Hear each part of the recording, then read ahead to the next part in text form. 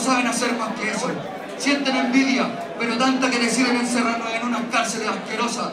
Una cárcel que representa sus emociones, sus escuálidas vidas. Pero no les alcanza. Su resentimiento es tan fuerte que nos matan, como lo hicieron ayer, como lo hacen hoy y como sabemos que lo seguirán haciendo. Me pregunto tanto en estos días cómo es que debo luchar, cuál debe ser mi estrategia, porque con la nuestra no alcanza. ¿Cómo debo hacer? En estos días solo pienso en la destrucción. Creo que es una salida, una destrucción definitiva, porque mi terrible dolor no me deja ver más allá. Estos bastardos quisieron incluso destruir nuestro amor. Estoy seguro de que no saben qué es lo que es amor, porque todo lo que ellos no saben es bello.